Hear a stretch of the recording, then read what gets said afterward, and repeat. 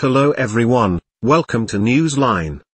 Apple cider vinegar, what the experts say story highlights acetic acid may help manage blood glucose after a starchy meal. All vinegars contain acetic acid, not just apple cider vinegar. Other health benefits are mixed, and the acidity could be harmful. Apple cider vinegar is one of the most popular natural health products around, with claims for everything from sanitizing toothbrushes to whittling waistlines.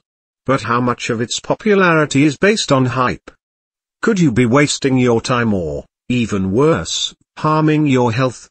Here are 10 of the top ways people are using apple cider vinegar and what the science says. Diabetes What's the most popular use for apple cider vinegar?